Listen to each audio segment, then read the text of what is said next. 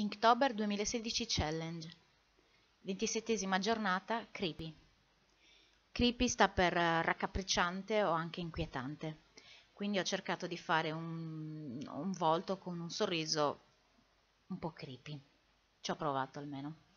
Questa volta ho ripreso anche lo sketch a matita perché sono riuscita a piazzare la, il cellulare per filmare in modo fermo, almeno ballerino, almeno non vi viene il mal di mare. Quindi ho fatto lo schizzo a matita e poi ho ripassato le linee con il water brush e con il pennello giapponese.